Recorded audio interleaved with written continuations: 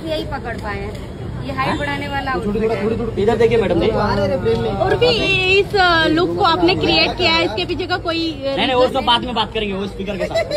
क्या कर रहे हैं? से बहुत इंस्पायर हो गई हूँ। क्या बात कर रहे हो? आई लव राजकुंद्रा मतलब जैसे वो मैं भी उनकी तरह एक अब कुछ करूँगी?